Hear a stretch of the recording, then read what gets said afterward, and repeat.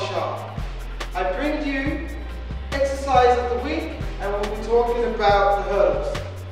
Now these are a great way for you to work on your speed and agility. Okay, right. First, I'm going to show you some basic exercise that you can do to start you off doing this. Okay, and as you go through practicing on this, you get quicker and quicker and quicker. Okay, first one is step overs, side step overs. So you step back, step. Make sure you lift up the training leg as you're doing it.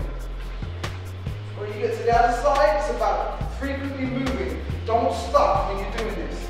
Okay? Be on your tiptoes. Okay? That's the first one. Then you can actually do do the step over but with a little hop. So from here, step and hop, step and hop, step and hop, step and hop. Okay? Now I'm doing that, I'm working on my plyometrics, still keeping that frequency going. Now what you can do is now you can just really speed it up. Be on your tiptoes.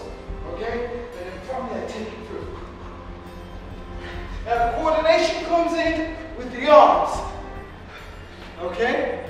Right. You can also pop over these as well. Okay? So as I go through, but I'm going to slow it down. Take it over, hop.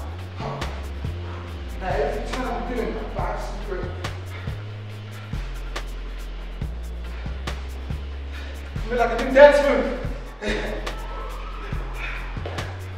okay, right.